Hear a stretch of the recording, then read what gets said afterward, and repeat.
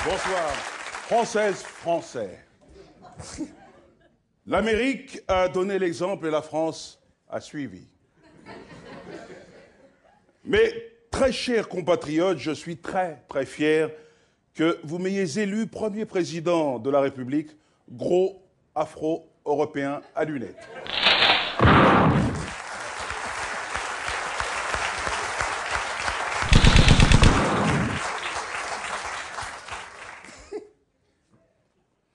J'espère que mon élection fera boule de neige.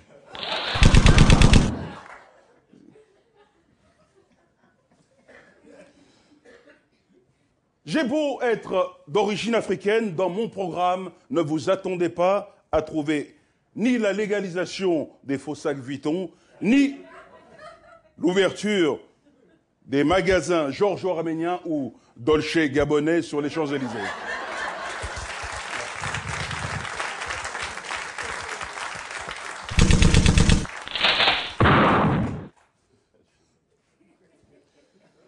Les poupées vaudou ne seront toujours pas remboursées par la sécurité sociale. Même celles à l'effigie de mon prédécesseur. Hmm? OK? Le tchoff sauce gombo ne sera pas au menu des cantines, bien évidemment.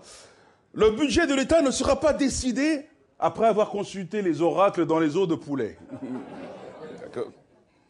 Et je m'en excuse auprès de mon ami Dominique Strauss-Kahn, mais la polygamie ne sera pas légalisé.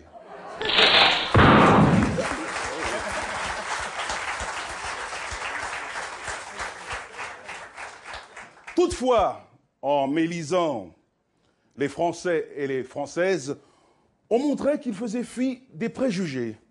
Oui, je suis le premier gros à atteindre la fonction présidentielle.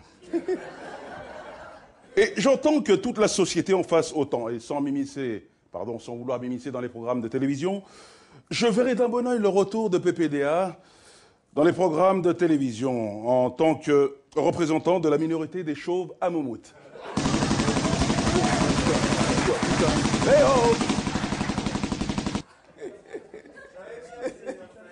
Contrairement à ce qu'il a été dit, je ne suis pas le premier chef d'État noir.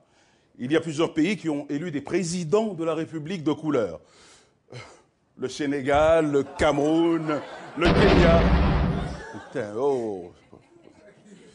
Enfin, je tiens à rassurer ma famille et tous ceux qui m'ont soutenu, je ne pense pas que dans une démocratie comme la nôtre, qui que ce soit tente de m'assassiner.